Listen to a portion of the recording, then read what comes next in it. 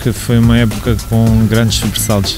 Um início atarefado, onde aconteceram muitas situações, onde o início de, da equipa também não foi o melhor, mas depois, com, a chegada do Mr. Ricardo Shaw, melhoramos substancialmente e depois na, agora nesta parte final tivemos uma quebra talvez significativa, mas que acabou por ser relativa a um início de época, na minha opinião, muito mal preparado.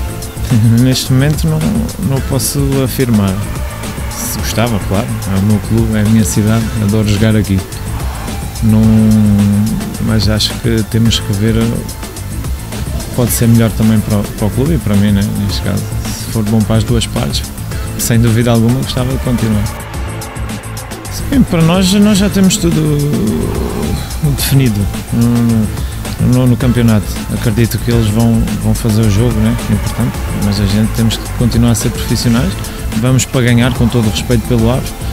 Se a gente conseguir pontuar, sabemos que eles podem ficar fora, mas o futebol é assim e a gente vai dar tudo para, para honrar a camisola. Sim, eu sei que não, não foi um final de, de época mais feliz da nossa parte é, com, e compreendo a insatisfação dos adeptos. Mas uh, só peço que eles continuem a acreditar que o clube pode crescer mais, que não, não desistam de, de apoiar, que isso é sem dúvida o mais importante.